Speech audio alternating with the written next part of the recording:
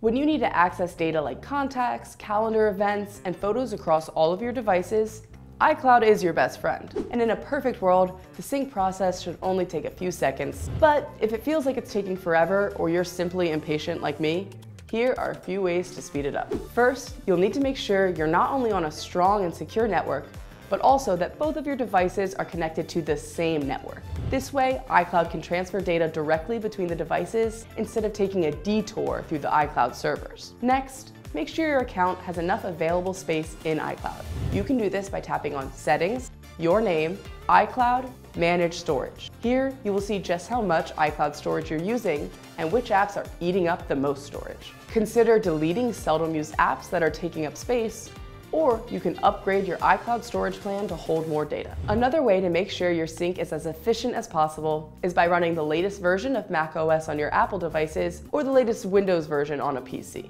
You can also double check that iCloud services are working correctly by visiting Apple's system status page to make sure there aren't any software issues that are out of your control. If you made a change to your contacts or calendars on one device and it isn't showing up on another, Try this manual trick to force them to appear. Start by selecting the app on your iOS device. For calendars, tap the Calendars button at the bottom of the page. For contacts, select Groups. On the next page, drag the screen down until the spinning activity icon appears at the top. After spinning briefly, you should find iCloud has synced your calendars for you. This one is a classic for a reason.